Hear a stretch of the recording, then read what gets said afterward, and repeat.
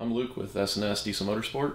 Wanted to take a little time to explain a little more detail about our CP3 conversion kits for the 2011 to 2016 Chevy and GMC Duramax, uh, the LML Duramax platform.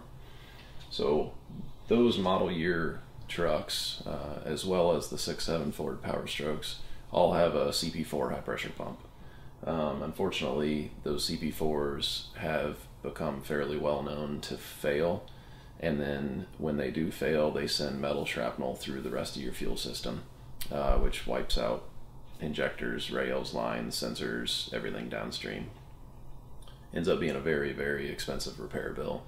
Um, and uh, to remedy those issues, uh, that's why these type of products exist. So um, we did a video previously describing in detail the differences between uh, a CP3 and a CP4 to, to really explain why it is that the base pumps are different and why it is that the CP3 is just a really, really robust, reliable platform.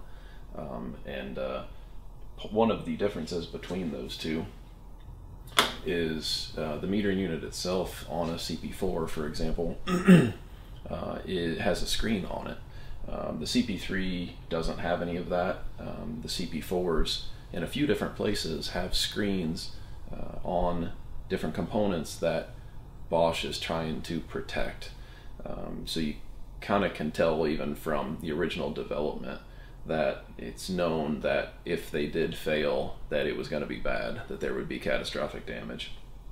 So the screen that's on uh, this metering unit to, is kind of a last ditch hope to catch any debris that came from the pump before it went downstream to the rest of the system. Normal modern diesel fuel filtration uh, is in the 2 to 3 micron range as far as the size of particles that it will catch. Any properly spec'd filtration system is not only a size but it's also a efficiency.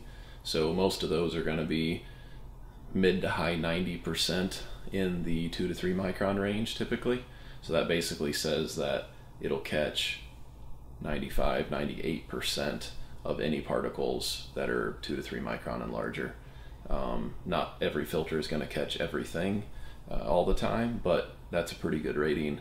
And Bosch basically requires, depending on the application, whether it's a grocery getter or whether it's a work truck or it's, you know, pulling heavy loads up and down the road every day, they require um, four micron or better at 90 plus percent is basically what they say it takes to be able to protect your system um, to be able to protect that expensive investment in common rail injectors and things. That's basically what what the requirement is for Bosch.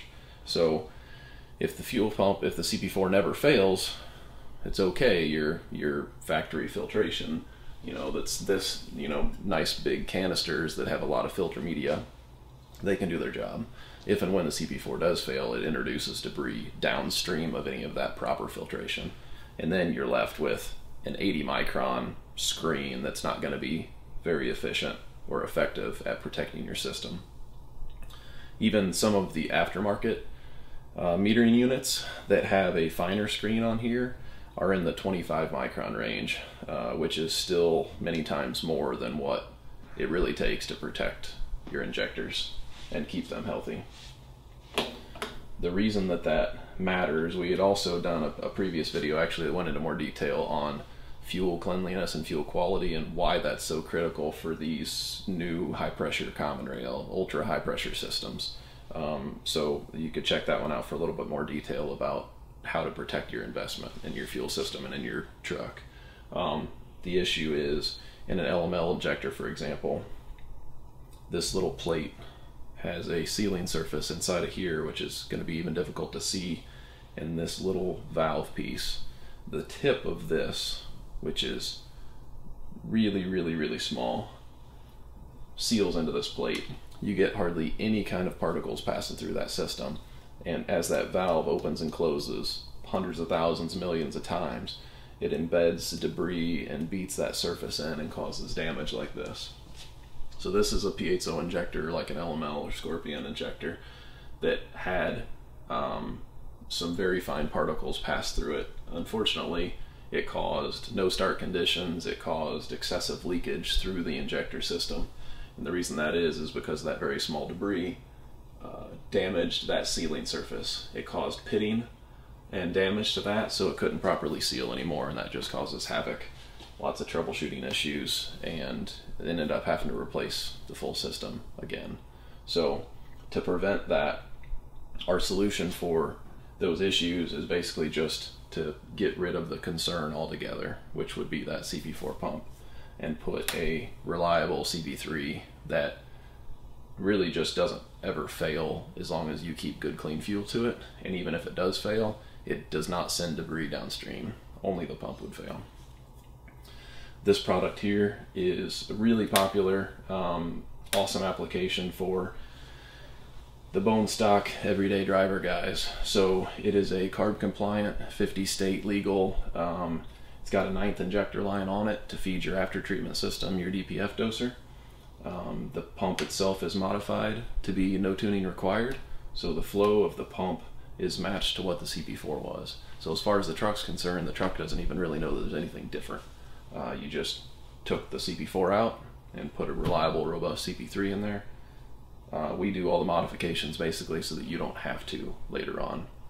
You don't have to pay for any kind of tuning to try to get the rail pressure governor correct. It, the pump does it for you. that comes uh, in an installation kit with low pressure, high pressure lines, fittings, plugs, everything you need, including full color instructions. Um, comes with tags on the pump and another tag to put in your engine compartment or on the vehicle. It's got part number, the CARB EO numbers, everything you need. So that's a that's a great a great alternative uh, to make your LML Duramax a long life reliable vehicle. Um, we've got a couple other variants of that as well uh, for those applications. So say for a competition type application that doesn't require uh, that ninth injector line, we have uh, this variant of that CP3 pump. The pump is also modified to be no tuning required, not require any kind of recalibration for rail pressure governor issues. Um, and that one works really well for those type of applications. There's another version, and this is most similar to what is more common in the market, and this is an LBZ based CP3 um, that has not had the pump itself modified to change the performance. Um, so this one does require recalibration on the ECU side to get the rail pressure governor correct because the flow versus current um, relationship is different on this than what the stock CP4 is.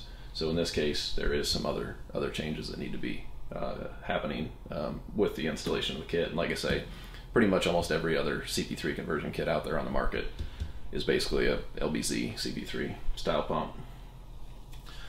And a last option we have also for um, competition race type customers that want to use an LML base engine and whatever that application is that need higher performance, higher output type pumps, uh, similar to this one, which would be, uh, for example, our 14 millimeter uh, CP3. You can couple the installation the CP3 conversion kit with that high output pump for those uh, type of high performance applications. So, um, Trailer Life magazine did a article as well. We teamed up with them and they did a great article uh, really explaining how to do. They did an installation of this kit here uh, with a lot of good pictures and descriptions and things like that. You might check that out as well to get a little more information on what it looks like, how involved the installation is, uh, and things like that. So, if you got any questions, feel free to reach out um, or uh, contact a dealer. Uh, we've got dealer locator on the website as well as a contact form. Um, so hopefully we can get one of these CP3s in your LML soon to make it a long life reliable truck. Thanks.